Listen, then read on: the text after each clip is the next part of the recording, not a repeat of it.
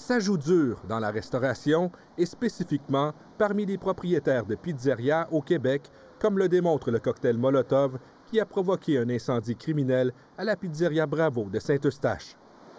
24 heures plus tard, c'était au tour de cette autre pizzeria, cette fois rue Drummond à Montréal, à subir le même sort.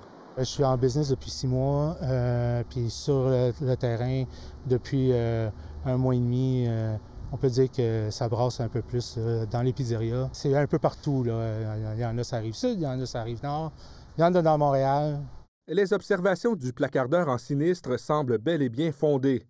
Selon une compilation du Journal de Montréal, pas moins d'une trentaine de pizzerias ont été ciblées depuis un an et demi à travers le Québec par des incendies criminels.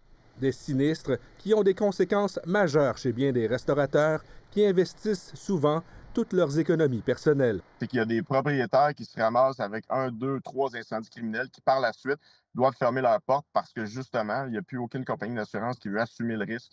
Les différents services de police n'auront pas le choix de résoudre dans leur juridiction municipale ces actes criminels, selon le sergent à la retraite.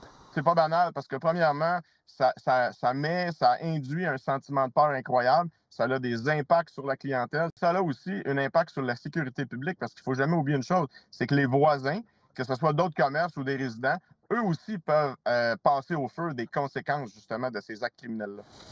Aucun restaurateur ciblé par des incendies criminels n'a accepté de dénoncer le crime par peur de représailles. Un signe tangible du climat de peur qui est de plus en plus répandu. Ici Pascal Robida, Radio-Canada, Montréal.